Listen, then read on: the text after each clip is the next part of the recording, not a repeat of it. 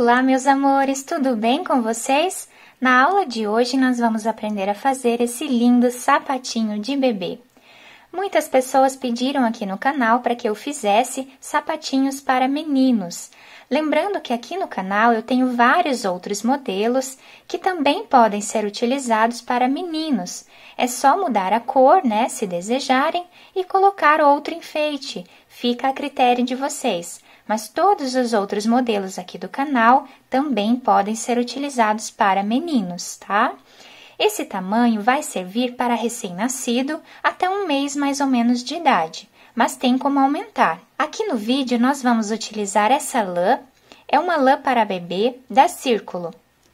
Também vamos utilizar uma agulha de crochê número 2,5 milímetros. Vou deixar durante o vídeo o tamanho em centímetros para que vocês possam seguir com outra lã ou outro tipo de fio. Eu espero que vocês já estejam gostando do nosso vídeo. Se estão gostando, deixem o like de vocês, se inscrevam também aqui no canal e ativem o sininho da notificação para vocês não perderem nenhum vídeo que eu posto aqui para vocês com muito carinho. Vamos lá então para o nosso passo a passo. Nós vamos começar fazendo aqui um cordão de correntinhas com um total de 19 correntinhas. Então, vamos fazer aqui todas as 19 correntinhas e eu já volto. Depois de fazer as 19 correntinhas, nós vamos começar a trabalhar na segunda. Então, colocamos aqui a agulha e vamos fazer ponto baixo. Na próxima correntinha, fazemos ponto baixo novamente. Vamos caminhar por cima de todas essas correntinhas fazendo sempre ponto baixo, até o final da carreira. Vamos ficar aqui com 18 pontos baixos no final da carreira. Fiz aqui, então, os 18 pontos baixos da carreira. Agora, nós vamos subir uma corrente, virar o trabalho, e aqui nós vamos continuar fazendo ponto baixo em cima de cada ponto que nós temos de base. Essa corrente que nós fizemos aqui de subida já serve como primeiro ponto baixo da carreira. Aqui vamos continuar fazendo ponto baixo em cima de cada ponto de base até o final da carreira e sempre vamos ficar aqui com 18 pontos baixos.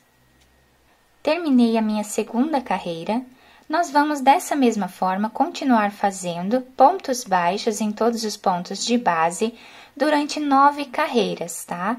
Sempre vamos fazer uma correntinha de subida, depois virar o trabalho, e aqui no segundo ponto baixo, nós colocamos a agulha e fazemos ponto baixo.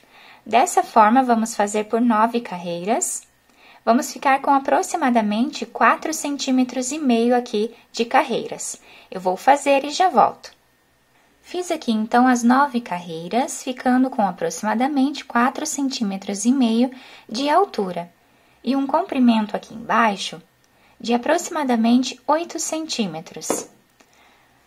Agora, nós vamos fazer uma correntinha de subida, virar o trabalho essa correntinha de subida já serve como primeiro ponto baixo da carreira e nós vamos precisar ficar aqui com 11 pontos baixos no início da nossa carreira. Então, aqui já temos um, dois, três, quatro, cinco, seis, sete, oito, nove, dez e onze pontos, dessa forma. Agora, nós não vamos trabalhar esses sete pontos que nós deixamos aqui do lado. Fazemos uma correntinha de subida, viramos o trabalho, vamos lá no segundo ponto e fazemos ponto baixo. Essa carreira toda vamos fazer ponto baixo em cima de cada ponto de base, ficando novamente com 11 pontos.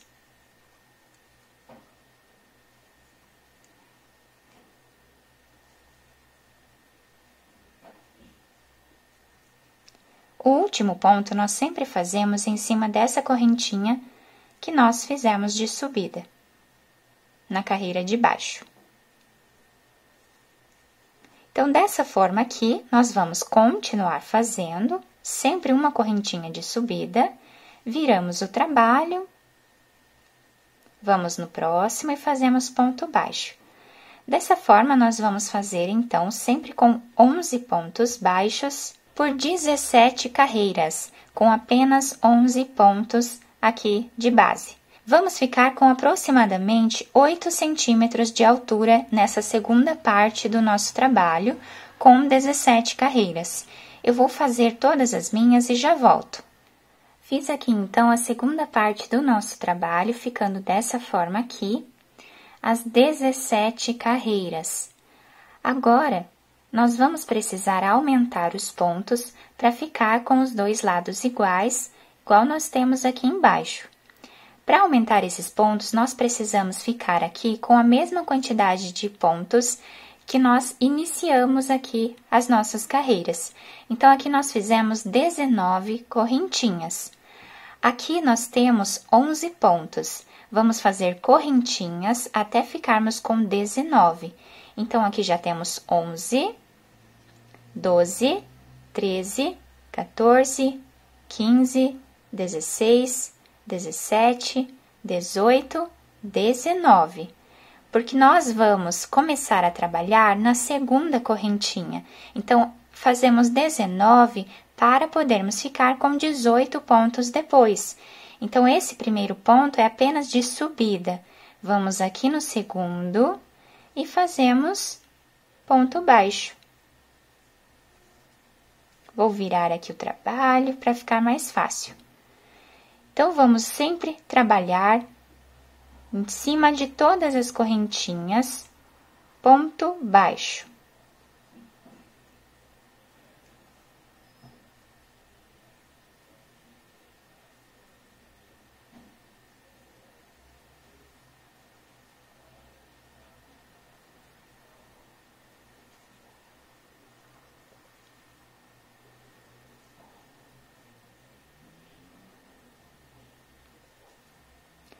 Chegando aqui, nós já temos os pontos baixos, então fiz a minha última correntinha aqui, né?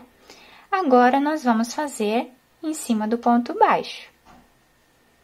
Então, vamos fazer ponto baixo em cima de cada ponto de base até o final da carreira. Agora, nós vamos repetir a mesma quantidade de pontos que nós fizemos aqui embaixo. Então, aqui nós fizemos um número de nove carreiras, né? Então, aqui nós já temos uma, vamos fazer mais oito carreiras aqui em cima, sempre fazendo uma correntinha de subida, virando o trabalho e começando a trabalhar aqui no segundo ponto. Dessa forma, vamos fazendo por toda a carreira, inclusive aqui em cima desses pontos, né? Que nós fizemos a mais. Então, vamos fazer dessa forma. Quando chegarmos aqui, o último ponto nós fazemos em cima dessa correntinha que nós temos aqui. Então, vou fazer as nove carreiras e já volto. Fiz aqui, então, a terceira parte do nosso trabalho, ficando dessa forma aqui, então, o desenho. Eu cortei o meu fio e coloquei aqui uma agulha de costura. Vou passar por dentro desse último ponto. Vamos dobrar do lado avesso, pode escolher, né, um lado que fique melhor para vocês. E aqui nós vamos começar a nossa costura. Vou passar aqui para o outro lado. Vamos trabalhar aqui um ponto de cada lado, para que a costura não fique tão grossa. Vocês podem fazer da forma que ficar melhor para vocês. Eu vou fazer dessa forma aqui, até sobrar aproximadamente 2 a 3 centímetros aqui. Então, nós vamos fazer a nossa costura até aqui mais ou menos. Quando chegarmos aqui, eu volto com vocês para nós fazermos juntos essa outra parte. Chegando aqui, então, nós vamos passar a nossa agulha entre os pontos, fazendo um zigue-zague, até chegar aqui do outro lado. Agora, nós vamos puxar o fio e deixar essa parte bem presa. Podemos fazer alguns pontos aqui. Fazer um nó e depois esconder o fio e cortá-lo. Agora, depois de finalizar né, essa parte da sola do sapatinho, nós vamos virar o trabalho e agora aqui vamos costurar essa parte, tá? Que é a parte de trás do pezinho da criança. Então, nós colocamos aqui a agulha, sempre pegando um ponto de cada lado, vamos deixar um espaço para finalizar depois. E vamos continuar aqui fazendo dessa forma a nossa costura, até chegar aqui. Quando chegarmos aqui, podemos fazer um nó, esconder o fio e cortá-lo. E eu já volto com vocês para fazermos juntos essa outra parte. Depois de finalizar a costura aqui de trás, nós vamos agora fazer o molde aqui na frente do nosso sapatinho. Então, aqui eu vou passar a minha agulha, fazendo um zigue-zague entre os pontos, até chegar aqui desse outro lado, na mesma altura que nós começamos aqui a costura. Vou fazer até aqui e já volto. Depois de passar aqui em volta de todos esses pontos, ficamos com essas duas pontas de fio. Nós vamos fazer dois nós puxando bem aqui essa parte, tá? Então, nós vamos fechar aqui na frente do nosso sapatinho. Vou fazer mais um nó. Depois, podemos esconder o fio e cortá-lo.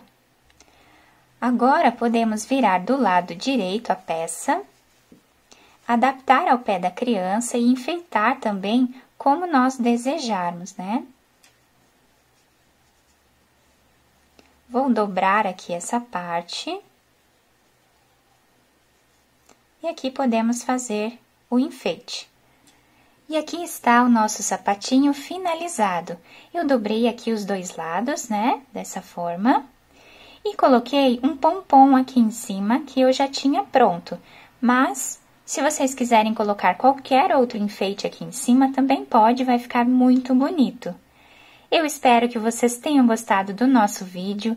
Se vocês gostaram, deixem o like de vocês, se inscrevam aqui no canal e ativem também o sininho da notificação para vocês ficarem por dentro de todos os vídeos aqui do canal. Muito obrigada pela atenção de todos, um beijo no coração, fiquem com Deus e até o próximo vídeo!